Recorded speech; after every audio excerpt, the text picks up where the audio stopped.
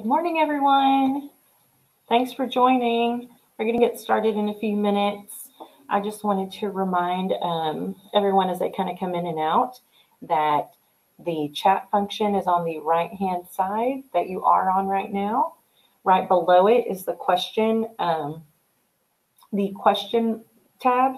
So please, if you have any questions during this, we'll answer them as soon as we can right after. Um, but please put place your questions there. We do have a poll, so the third tab on your right, go ahead and um, do the poll whenever you get the chance this morning or before we start or during it. Um, so you should be good to go. We don't have any files uploaded, so you don't have to worry about that. So, but please use the second tab on the right hand side for your questions so that we can get to them. Um, just in case they get lost in the chat, um, please collaborate with each other. Feel free to introduce yourself in the chat and um, say where you're from. Welcome. We'll get started in the next couple of minutes.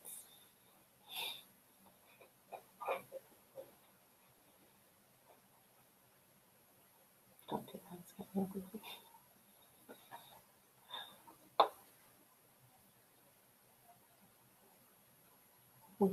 type, introduce yourself.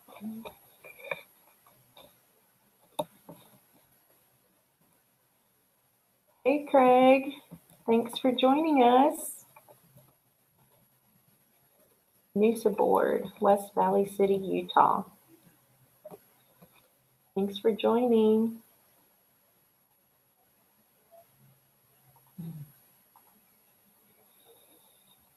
Happy to have you guys. We'll get started in just a few minutes. Give an opportunity for everyone to jump on.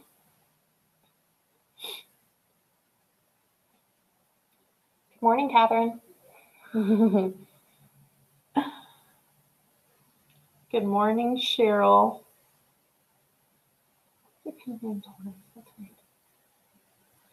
Hi, Craig. Thank y'all for joining us.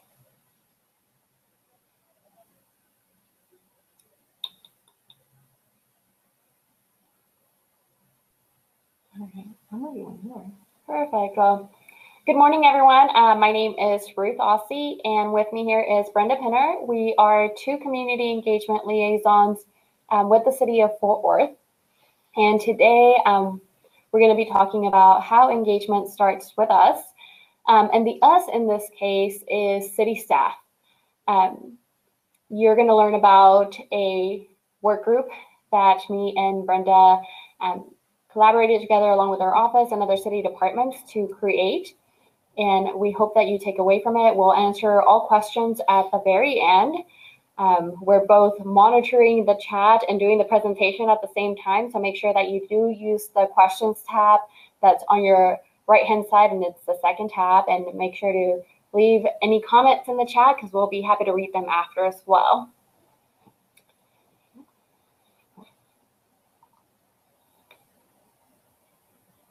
So um, before we get started, we just wanted to give you guys a breakdown of what the city of Fort Worth looks like and why this work group was so important for us to start um, because it really started with um, with our demographics.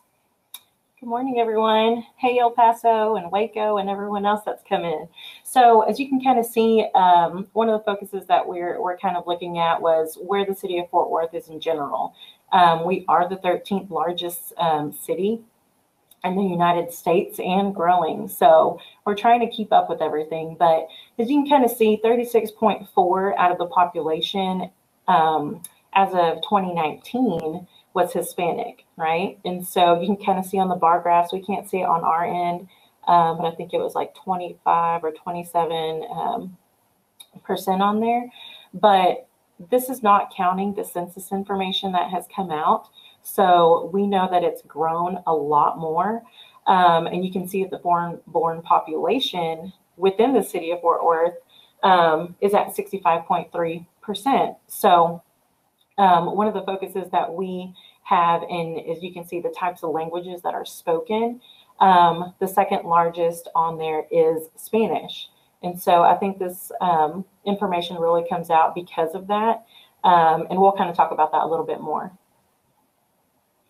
So in comparison, we really want to highlight um, what our employee demographic information looks like. The city of Fort Worth, um, as of 2020, and this has changed, of course, um, has 6,691 employees. Out of all those employees, 4,860 live in Tarrant County. So the surrounding cities around Fort Worth are probably 10 to 15 minutes away, and 3,213 employees not only work but live in the city of Fort Worth. Um, out of all those employees, um, 637 of them receive bilingual pay for speaking Spanish. This means that um, the city pays them a stipend every month uh, for either reading or writing, or being able to speak to customers in Spanish, or doing both.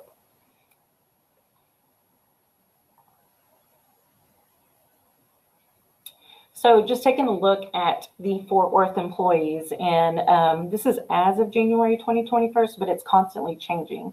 You can see that the citywide totals are at 25.4% um, that are Hispanic, right? And so as you kind of take a look at the next few down, these are constantly changing. We are always um, getting more um, people who speak Spanish and are Hispanic in general, especially police with their new recruits, um, as well as fire. So as far as general employees, you can see that um, it's a little small on my end, but I think it's 29.9%. So um, this is kind of one of the focuses that we see is because we we do live um, and work for the city of Fort Worth, and I think it's a big um, looking at the workforce and how many people actually um, may provide these services and communicate with residents in general is a big deal. So you may be thinking, how does uh, your demographic information for the city and your employees matter to you and matter how um, we're engaging with our community. Um, just to give you a little breakdown of our office, um, we office out of uh, our communications department under communications and public engagement. We have the communicate community engagement office and we have six liaisons in our office who are all tasked with a different part of the city. Our job is to be a liaison for those neighborhood associations, to be the experts in, in their area, uh, but also provide education and presentations for not only the schools, but for adults. Um, we also collaborate with other city departments to make sure that we are attending public meetings and getting this information out to our neighborhoods. Um, as you can imagine, we stay pretty busy with 300 registered neighborhood organizations. Outside of that, we also have special projects. Me and Brenda are the two liaisons in our office that are bilingual and Spanish speaking. So we're tasked with Hispanic outreach. And this has grown vastly since I started with the city. Um, we used to do presentations in Spanish, and I, I think we've grown that number um, a lot. And when we go out and do education and presentations, this is information regarding um, City Hall 101, civics, um, solid waste programs that we have, stormwater, and really connecting Spanish speaking residents with other services that the city has. Um, oftentimes, we do take guest speakers with us um, and collaborate with other departments to make their services known. We also provide um, translations for our neighborhood organizations if they are struggling with Hispanic outreach, this is something that our office can help them with. Um, and it's something that we have really focused on and have been really strategic about um, when we're engaging uh, new neighborhood organizations or we're, we're working to re engage them. Um, we also provide translations for other city departments. Um, I think one thing that has happened since Brenda and I took this role is that we started noticing that maybe some departments are not using verbiage that is um, easy to understand by Spanish speakers. Mm-hmm. So we're making sure that whenever this information goes out, that we're reporting back to those departments to make sure that they use appropriate language. We also have a community engagement bulletin. Um, this bulletin goes out with city news, events, public meetings that are happening all around the city. It goes out every Thursday to all of our neighborhood leaders. Um, so we told you we have about 300 uh, neighborhood associations, so you can times that times five. And that's how many people receive this bulletin. It is their job as neighborhood leaders to then send this information out to their neighbors, whether they put it on Facebook, Nextdoor, um, share it on their newsletters. We expect them to share this information. What me and Brenda started doing about maybe two years or a year and a half ago is started providing our the news stories that are in our community engagement bulletin in Spanish. We translate every city news story that we have um, that doesn't already come in Spanish. I think we've seen a shift with a lot of departments and already making sure that they're providing uh, this information in Spanish. But those who don't, we'll translate it for them. And we also provide a PDF summary to make it easy for our residents and our neighborhood leaders to send this information out uh, by a click of a button. And we've also increased our collaboration with Spanish speaking faith based organizations and area agencies, um, as well as other networking groups like the Hispanic Chamber or the Hispanic Wellness Coalition here in Fort Worth. So, one of the things right before we started is what what what, what do we do about this? We keep seeing um, different things. We keep getting feedback from um, Hispanic residents. You know, I don't understand this, or how can I get this information in Spanish? And so it kind of got us thinking, and we were like, well, what about um, getting people within the departments together, right? Um, but how do we do that? So one of the things was just kind of searching how we could do that, reaching out for HR, like um, Ruth mentioned, was um, we have in the city of Fort Worth, we have people getting paid to read, write, and speak Spanish. So why not try to find that list, which we got connected to, and let's see what we can do from there. So we kind of brainstormed how we would do this and kind of um, got this, you know, flyer started um, circling circling around in our heads and we were like okay so we're, what we're going to do is we're going to introduce ourselves um, kind of let them know what we're doing um, send out this mass email to these employees who get paid to speak spanish and, and connect with residents in spanish. And so we're kind of like okay we need to find a, a location that is um, easy, accessible for everyone to kind of come in and get together.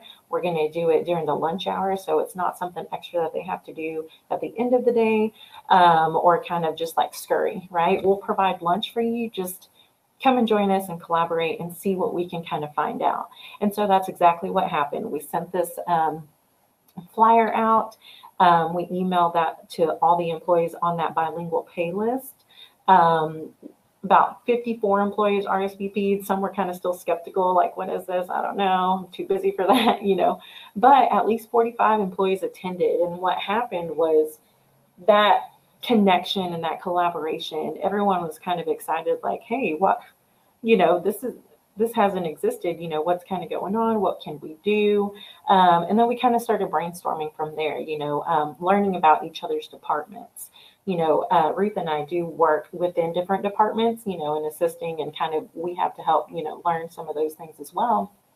And so it kind of helped connect others to each other as well, and kind of like, well, I didn't know that that program was available. And so, um, you know, kind of that we what we found out is, I mean, a lot of people were excited to kind of just have their information out there and kind of connect with each other and kind of just be able to provide what services that they did. And if they are doing spanish um, or how, how much they actually speak to spanish speaking residents. And when we started um, the idea of a hispanic work group it was really that just an idea. We didn't um, necessarily have um, the permission from our city manager to create this group. Um, it was born out of our office and we just wanted to test the waters we send out some feelers. We send out the flyer, uh, made a sign up sheet to see how many employees would really be interested. We thought, you know, doing it during lunch, the lunch hour, we didn't know um, how managers or directors were going to perceive this idea. So we decided to provide lunch, do it at a time where maybe they could just come even without having to let their managers know that they that employees were going to come out to this meeting try to do it at a central location so it wouldn't be too much of a far drive. Um, in La Voz Hispana de Fort Worth was born. Um, this is a name that our employees voted on, and it translates over to the Hispanic Voice of Fort Worth, which I think is a really accurate name. Um, as we mentioned before, our employees live in the city of Fort Worth. Um, and oftentimes they go back and tell their family members of what's happening within the city. Um, I don't know how many city employees we have um, with us today, but you can send us a little hand up in the chat if you are a city employee. But how many times have you been asked, oh, you work for the city, right? Like you should know when bulk collection is. You should know what's happening with other city departments. And the truth is, a lot of times our city employees are not aware of what's happening with other departments. We are really missing a collaboration piece. So this group has not only helped bridge that gap to now we're communicating, we're talking about what we're doing and how we can better serve our Hispanic customers. We have had 12 meetings since August of 2019. We've tried to be really consistent in having the meeting at the same time of the month um, every every year or every month. I apologize. And we've moved to virtual meetings since June of 2020. So our participation usually ranges from 30 to 50 attendees per meeting. Um, and this is really great considering that at every meeting we have a new employee.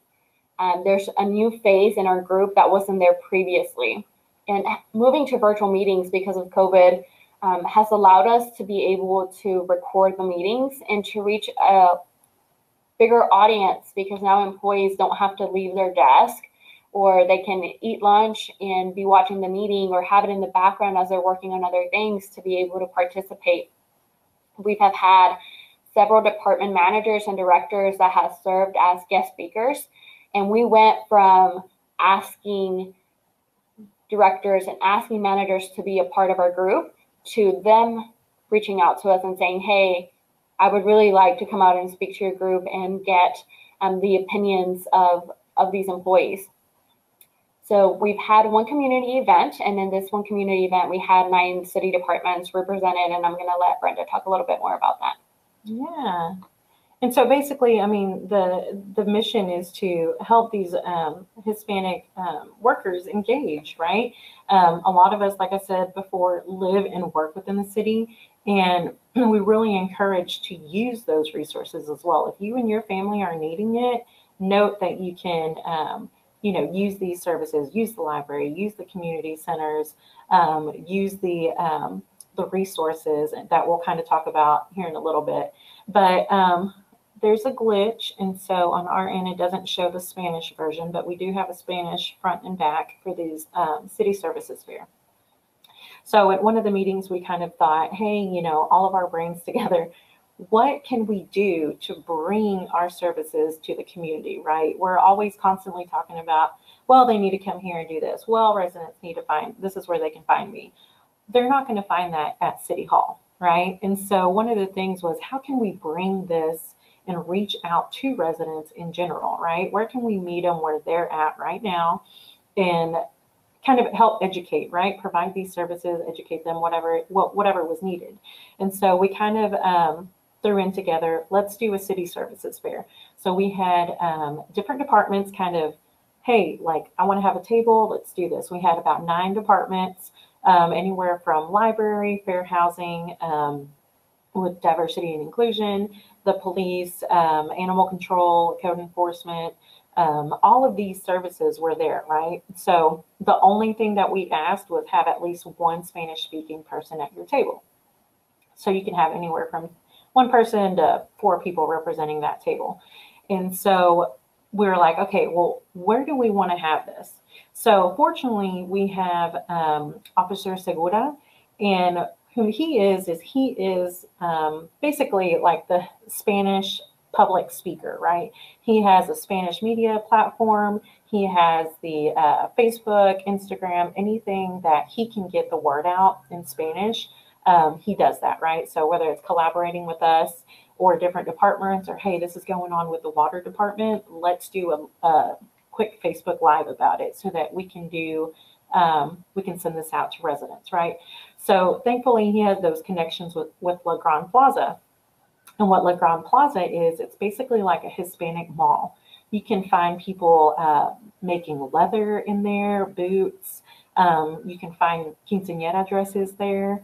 You can find great food, a lot of Hispanic stores, great food, um, uh, Mexican candy, stuff like that, right? And so it's kind of like a variety of everything. It's two stories.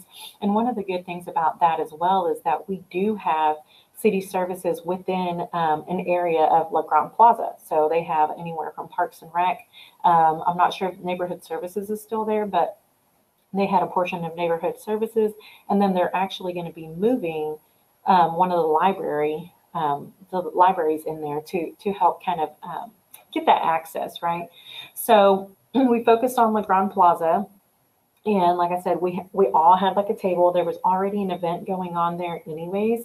So we kind of focused it in and around that, right? How can we reach people and us come to them where they're already at? So you can see, it was a 4 to 8 p.m.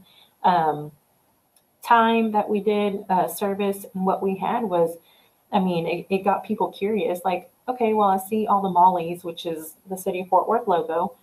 And they were like, okay, they have all this stuff going. Library had their fun stuff, you know, where kids can come in and win prizes we had different information anywhere from, I mean, you could get pins, you could get um, just basic flyers, right? Because some people just moved to the city. So they're like, well, I don't even know when my bulk trash is, right? We're like, here, you can have this with this, with this information in Spanish and English, or you just refer them to the next table um, or the appropriate table for them, right? So it was um, really great, really great feedback. We were able to reach, you know, uh, um, and a lot of people were like, I don't know how to do this, or, you know, um, that was when My Fort Worth was kind of coming in. And what My Fort Worth is, it's like a free app where you can sit, take a picture of something, say there's like illegal dumping, or say there's a sign thrown that somebody hit. You can take a picture of that with that Fort Worth app and send it to the correct department. And it's kind of like a faster way to get those um, those issues resolved, right? So um, we are kind of able to meet them where they're at, which was super great. And then as well as if any city employee needed that information or any family member needed that, they'd be able to pass that along as well. So one thing um, that I want to mention is oftentimes we get neighborhood leaders or other city staff saying, you know, I'm inviting um, my Spanish speaking neighbors to this event and they just don't come out. They're not, they don't want to engage. There's a language barrier, there's a cultural barrier. Um, so one thing that we, I think, did with with this event with um, the City Services Fair is bring an event to the community. We didn't look for residents to come to an event where we picked a, a location where um, there may not they may not know right? We picked a location. We were strategic about the time that we were going to be there. We were strategic about who we were collaborating with. Um, Brenda mentioned Officer Segura, and he has been really instrumental in helping us bridge the gap with the media. Um, one really good example of how it's going is that we have seen departments collaborate together. He has a really good connection with one of the um, the Spanish speaking stations with Telemundo, and they were hosting a phone bank, and they needed a time slot to fill. We had already created this group, so we were able to partner with neighborhood services and and their team to talk about priority repair. And they went over to Dallas started the phone bank and got phone calls and got residents engaged in a service that they may not previously have had.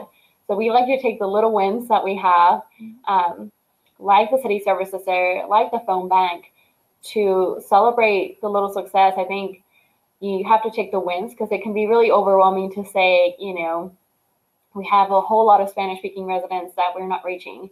But what about those that, that we are? Because they go back and speak to their families. Um, and we know from being a part of that community that we talk and we gather. Um, and that's something that we like to do. And we like to share information and resources. So, um, how it's going, department directors see us as an asset and want our opinion. We've had several um, program managers and directors come to our meetings. And what they do is explain their, their roles, right? They talk about their division or their department, explain every single program they have under the moon, and then we have a Q&A. One thing that we ask them is, how can our group help you with your outreach efforts? Whether it's just giving ideas, whether it's collaborating together for an event, uh, they want to hear our opinions. So that has been really encouraging and really vital for our group uh, because now you have a group of city employees who are admins who work in the field in water or transportation and public works who didn't have that platform before and nobody was asking them what they thought and how they should communicate with their own community. So it's been really, really cool for us to see that grow and those partnerships develop. There's an increase in departmental collaborations, like I mentioned before, and we love it when people know the name of our office. We love it when they say, oh, you can just call community engagement. They can help connect you. And we have had more staff reach out to us and say, hey, like, I have this event happening. How do you think I can better promote it? Or who can I reach out to? Um, who can I collaborate with in the city to make this event great? And we continue to be a pivotal tool for engagement, um, especially during COVID 19. So at the beginning of the pandemic, we were able to utilize our work group to do translations that our office really didn't have time for because we were being pulled into different directions. Um, we were able to compile a list of area agencies that serve uh, Hispanic residents and faith-based organizations to which they attended to. So our network grew even more when we were trying to collaborate and get messaging out. Uh, most recently, we had the director of our code department come out and speak to us about vaccinations for COVID COVID nineteen vaccinations. Um, and it was really cool to see that he wanted our opinion. Some of the things that we threw out there were uh, doing vaccines on site for workplaces where they have a large Hispanic workforce, um, doing vaccination sites in grocery stores, um, doing neighborhood vaccination sites. And I'm not going to say the ideas came from us. We're not going to take all the credit. Um, but a few weeks later, we had community members who were telling us there was vaccination sites at grocery stores. We saw that there was a city news story about um, neighborhood vaccination sites. So that's really cool to see, and it really empowers an audience that wasn't being reached before um, with our employees. And another thing on that, you know, um, the the way that we are trying to reach um, obviously it's the focus of how we're trying to reach that but a lot of these ideas go go for anyone. You can use these ideas with with any any uh, targeted group. If you um, if you you know you're trying to reach the asian population and you have speakers you know or people that can actually translate that as well you know we encourage you to use that and use different ideas like that and use um, your departments um, that can that can do those things right? So what's next? Um, we're obviously looking at more collaborative events. And like like ruth said we you know we're, we're trying to be in the community more. You know we obviously are um, with our neighborhood associations and hoas and everything else. And sometimes you know when we do um, help with those public meetings and everything else. But we are trying to, to, to explore more ways to reach out to the community members and um, to see what else we can provide, right? So um, we're going to continue to give feedback on everything. Um, we mentioned before, it you know, it's not just Spanish, right? We have um, people from Puerto Rico or Colombia or you know anything that you can kind of think of in all those language um, types of Spanish that we speak, we have to make everything accessible to where that neutral understanding of what something particularly means. Because um, sidewalk can can be placed in what three different three different ways. So which one are, are we going to use? Which one do you feel comfortable using? And getting that um, consistency with with everyone that's using it and it's different for every department and so finding those consistencies and giving that feedback to each other um, transition one of the things that we've really been thinking about is how are we going to keep this going are we what do we what can we do to transition um, this work group to an actual organization. And what we mean by an organization is, do we need to put put some bylaws in place um, and not keep this in our office? Because the more collaboration we have, and the more it's accessible to everybody else, we don't want to be in the front lines all the time, right? We don't want to be the ones having to okay, because if we don't have time, then what happens, right? So we want to give the opportunity to other uh, city employees and departments to kind of step up and be part of the board and put their ideas more and be another face that people can kind of recognize and reach out to. And so those are kind of in the works right now. Um, you know, just thinking about it because if something happens, you know, um, how's it going to keep going? And so when you make it into an organization, it's it, it just kind of builds from there, right? You're you're able to reach more capacity. Um, and so we encourage and empower um, to engage city staff. And so that's what we mean by that is if we make it into an organization, we feel people would have more opportunity for it. Um, we love and value everyone's ideas. So um, being able to do that is kind of going to be a, a, big deal. And, you know, like, um, like Miss Amethyst said, some of the greatest ideas you don't have to ask permission for, you know. So that's one of the big things that we're trying to work on right now. Um, and as we still continue to encourage um, city staff to, to use those resources as well, connect yourself with your own resources and kind of go from there. So we have definitely have time for your questions. If you have any thoughts, comments on what we're doing, what we can improve, this is um, kind of our baby. We haven't had um, a whole lot of time with it. Probably about a, a, year and a half or so that we've been working, and then COVID kind of put a um, a hold on a lot of the meetings that we were holding before we went to virtual, and we had a turnover um, in staff, and the staff that we were seeing participating in the meetings has changed since then. Um, so we are looking forward to meeting with them again. Um, hopefully they understand that we had to do NUSA, so we couldn't host our meeting yesterday. But we look forward to providing them with your with your feedback and with your questions and and your thoughts. And I think a lot of the importance as well is our neighborhood associations that we have assisted in in the past in helping with those translations. A lot of the people don't they don't realize that they're doing this, and I thank them for it. But a lot of them I've noticed that they have taken the time in to um, get someone and ask, you know, like, hey, you know, collaborate with me, be a part of this, and get their own translations. And a lot of them, um, you really don't think about it, but they they are doing the work. They are asking those questions, like, hey, how can I engage my neighborhood as well? Um, in doing Spanish speaking. And so a lot of the times, if I go drive by or I'm doing um, something in that particular neighborhood, I'll see that a lot of the stuff that they put out is in Sp- Spanish and English. Sometimes they'll do it, you know, they'll they'll try their best to do it and be like, hey, can you print this for me and change anything and explain how, you know, why. So our neighbors and our leaders are definitely doing the work. Um, they're engaging more, which is great. Um, you know, like I said, as as city employees, we because we already somewhat know a lot of this, it's easier for us to pass along information. But if our um, city employees have that, just think of how many more that we can reach through our just our neighbors and our families. And one thing I want to mention before we um, ask the questions is, or answer your questions, is that even if you're a neighborhood leader um, and you're not within the city of Fort Worth, this is an idea that you can bring to your city and say, is this something that you're already doing?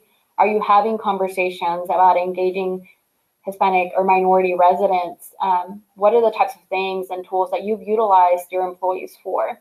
Mm-hmm. So um, one of our questions here is Officer Segura with the police department. Um, yes, Officer Segura is with the um, City of Fort Worth Police Department, and he actually has a really wide audience um, and a really large Facebook following with the Hispanic community, not only within the city of Fort Worth, uh, but I hear even in Mexico City. So um, he's been really pivotal and has really pushed forward a positive relationship with the police department um, with the Hispanic community. They really see him as an asset and as a resource Um, he also handles all media relations with the police department, with the um, Spanish speaking um, news media. Let's see. Do several of your departments have their own public information officers, or is this a central point of contact? They do. A lot of um, um, different departments have their own. Some not so much. Um, it just depends on the sizing and everything else. But usually we can connect um, to a direct um, PIO and then just kind of go from there. I think that's the really unique thing about um, our office is that we're housed under the communications department. So we're able to easily connect with other communication specialists and give them ideas on what other um, city employees are thinking. So yes, we have communications uh, specialists with almost every department in our city. There's there's a few that don't, like my Brenda mentioned. You write that? Yes, it was in the chat. Oh, okay. Do you work closely with your school districts and engage residents? Yeah, we do. We um, obviously we've had to move to virtual and and everything else, but um, our within our districts that we do, say for example, I'm in the north, northeast, and um, all of east side, um, and then we kind of collaborate after under kind of stop six is kind of where Ruth comes in, and then so we're kind of like everywhere, but we do focus on those um, schools so when career days come up, we are in there doing stuff, parent as teachers programs, which are um, Spanish. Um, we kind of help focus on those as well, whether it's giving them, you know, doing a small presentation for their child and then kind of focusing on them and kind of seeing what they're needing and just kind of helping educate and keep them connected. Like, hey, did you know you do have a neighborhood association here? This is when they meet, this is who you can contact. Um, you know, if you're needing Spanish, just say so, and you know, things like that. So, um, and that goes for all of our teachers as well. You know, all the presentations that we do, if they're in schools, they are um, what what is it called, TOS or TAX, TEKS, um, correlated. Co- correlated. So all that curriculum goes with the stuff that they're learning um, within certain different times of the year.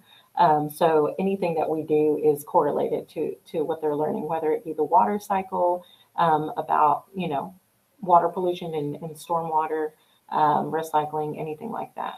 And we also have a really positive relationship with Fort Worth Independent School District. Um, we have a good relationship with their family communications liaisons. Um, they will invite us to any fairs that they're having. If there's an issue that a family is facing with the city, whether it's code or they just need connections and resources, a lot of times they'll refer them over our way. Um, one suggestion that I would give is that you find people within your ISD to connect with and have a conversation about how you can collaborate and engage with. A lot of our um, Fort Worth ISD staff um, was and did presentations, so we try to attend their meetings and collaborate with them as well. Um, another suggestion I have for that is we have found the ESL groups within our city and we'll reach out to them. We'll just send them an email and said, "Hey, uh, my name's Ruth. This is Brenda. Um, let's work together. Let's collaborate, and we can do our Spanish or presentations in Spanish. And we would love to come out. Um, we've had a really, we've been really successful in reaching out to those groups. And the first time that we'll go to an ESL group or a parent as teachers group, everybody's really timid um, they don't ask a whole lot of questions, but as we keep showing up, they'll even want to see the same presentations again just because we've created such a positive relationship with them. We keep showing up, we'll follow through on concerns that they're having to create that trust. So whenever we do start to tell them about how they can engage with neighborhood associations, they know that uh, that's coming from a trusted source or that's coming from Brenda. And I know she'll follow through with what she's saying. I know that right. there's a good relationship there. Yeah, and even bring in other speakers. You know, um, when I do my the pause presentation, which is um, pets are worth it, and when I do that, you know, I'll bring um, Kayla Gonzalez with me, which is with uh, animal control, and she'll bring Henry the dog. So it's really just making that connection any way that you can, right? So if you're bringing a full dog, of course everyone's going to want to pet that big old ham, right? So it's doing things like that and being able to bring other speakers. Sometimes they don't want to hear from you, or you're like, okay, what else can we talk about?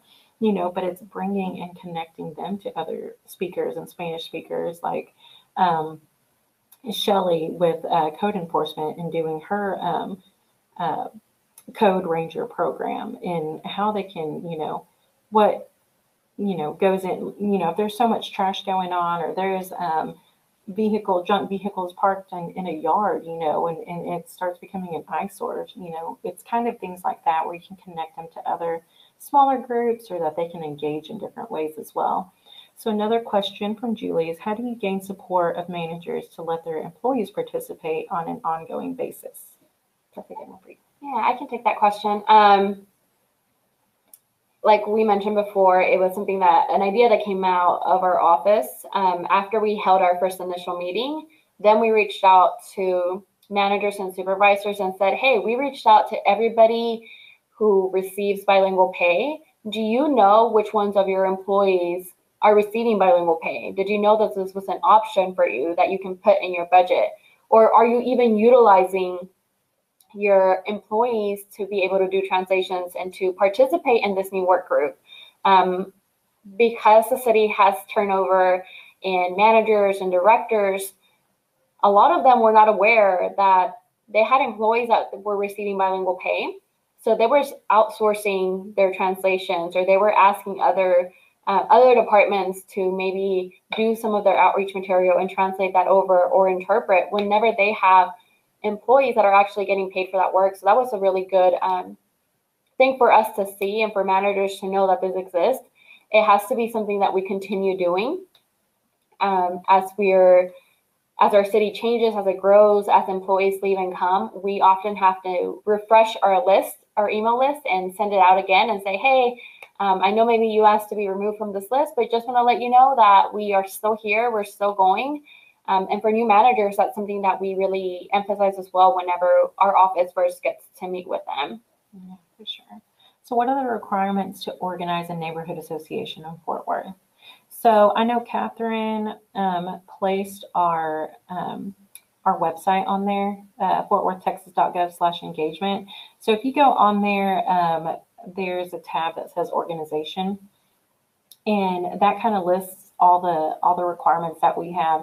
Honestly, though, we require um, you just to have one uh, neighborhood meeting a year, right? That can be however you want. A lot of the HOAs kind of just focus on one, just depending on you know how much they have going on. Um, but we, I mean, really, that's that's it. And for you to complete the annual update every year, of course, make these meetings um, public so anyone within you know your area can attend um, and, you know, just that you're including everyone, right? We're not going to say only the purple houses with polka dots. Um, everyone can join except them, right? Um, so we want to make sure that you're you're being inclusive and that you're, you know, just just you're there for a benefit for your neighbors and your neighborhood in your area. So that's really all that we ask. And that you have bylaws. We want to make sure that you have bylaws yeah. as well. And we um, assist with that. And so. if there's uh, any group that's interested in starting a neighborhood association where there's not already one, um, they can definitely utilize our office and we can help them with setting up a public interest meeting to seek the interest of their neighbors. We'll help them with posting on Nextdoor, doing robocalls, creating a flyer, and writing their bylaws. Mm-hmm. And we have a lot of organizations that also struggle with um, leadership or volunteer recruitment, so they can come to our office to get that type of assistance or mm-hmm. get um, workshops done one-on-one with them and their board. And even um, finding, you know, the areas. So when we do those um, public public interest meetings, you kind of find, hey, this is the area that I'm in. Obviously, almost all of them have already have a name or have had a name in the past. If there's nothing that's been active there in a while, um, you know, it's considered the boundaries are open. And so it's just a certain area. And so when you start getting into those public meetings like that, um, we print out a huge map, kind of about that big, of just that particular area and that particular boundary. And what happens is, you know, we ask people to come sign in, um, place a dot of where approximately you live. So if we're all getting people from a certain spot, you know, do we need to just focus on that area? Do we need to focus on expanding more outreach through this, you know, the south or the east or whatever it is? Um, you know, what are we focusing on? Can you reach everybody in this area? If you become an association, are you able to communicate and put that out to everyone in that area? If not, you know, what are the options for that? So I think that's also important because you don't want to um, overstress.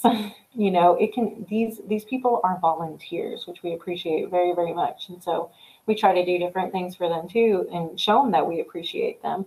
Um, but you know it's important as well because some people don't you know they think of the city and then some are like well i don't trust the city anyways. But you know when we come in we're we're the type of people that we're like hey we are here for you in your community and this is you know how we can work together. This is how we can collaborate. So it is um, a lot of work on both ends but we are there for support for neighborhoods and we appreciate you we mm-hmm. appreciate everyone that does it um, we love our areas we love the city of fort worth and um, you know whenever we can assist others um, that may need that spanish speaking barrier that's kind of where we come in as well and see what we have on our schedule and see how we can help um, our other liaisons um, in their areas as well. And to tie this back to our work group, I think one reason that it has been successful in terms of our attendance is because our employees really feel valued. Um, they feel like their questions are being answered. Sometimes we get questions that we may not have the answer for, and one of those was bilingual pay. And maybe it should increase or maybe employees who are not using it should do away with it and there was a lot of um, a lot of thoughts i'm not going to say it was it was there was conflict but there was just a difference of opinions. Um, and obviously that's not something that me and brenda can resolve on our own. We brought in hr they spoke about um, who receives bilingual pay how do you get it um, if it's something your department can have in their budget. And we just basically had a Q&A with them. And I don't think that they valued the fact that we couldn't give them any um, real response to all the issues that they were facing with bilingual pay, but they were appreciative that this group provided them with an outlet to ask their questions, even if the answers were not something that they liked.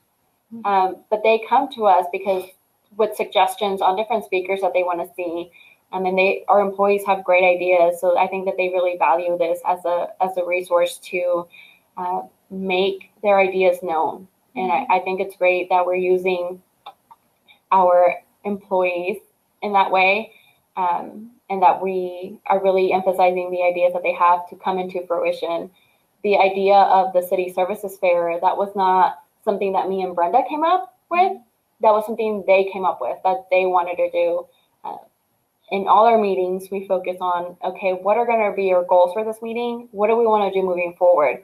It's always changing, it's always fluid, which is why I think we kind of like the idea of um, transitioning over to an organization because the work group is uh, housed right now within our office, and we want to make sure that this is something that um, employees feel empowered to have a hold of as well. Yeah, for sure. And another thing that we've seen is um, you know, people will have different um, events kind of coming up, and it's getting a lot more of those departments out in the community and you know having a table there of, of, things that people haven't even heard of before you know and offering their services which is great you know not just at the services fair but at different things you know if um, if one of the crime prevention specialists is having you know a, a safety fair out in the community in the north community or whatever it is um, they're able to kind of get that. I'm like, hey, I know some people that can that might want a table. Can we do this real quick? And so they'll we'll kind of, you know, connect them to that and kind of go from there. We do see that 10 of y'all have um, answered the poll. If you haven't answered the poll, it's the third tab on your right. And the question was, do you know the demographic makeup makeup of your city? And 50% have answered, of course, we're already serving them. 40%, yes, but we could do better. 10%, yes, but we're are not currently doing outreach. And no one has answered no. So yay! we're glad to see that um, that you know who is a part of your city and who you're serving. And I hope that we were able to provide um, some ideas, hopefully, and of things that we've tried. And we're open to network with you if you want to reach out to us through email. If you click on our picture, you can see our email. But if you just want to send us a private message, um, we'd be happy to connect with you. We're always looking for new ideas to help engage our residents, our neighborhoods, um, and also our employees because we know they're really vital to um, the success of our city. Yeah. And we don't see any more questions, but if you do have a questions, we'll we'll give you a few more minutes to to ask them. But if not, I mean, we are thankful for y'all to um, have joined us today. Um, please don't make nuisance since it's virtual. Don't you know? Don't think you can't come to Fort Worth. Come to Fort Worth. Reach out to our office. We'll take a lunch break and show you around, or just come in in general and um, we'll be ha- glad to have you here, um, show you around the different areas of Fort Worth. If you're watching those um, neighborhood pride tours, I hope that they were fun. Um, I'm hosting one today, and I know I think you are as well. Um, so come out and enjoy those. And when you want to come to Fort Worth, come on down. We're, having a great day. Yes, Yes. we're here for y'all. Enjoy the rest of the workshops. Talk to you soon. Thanks. Bye.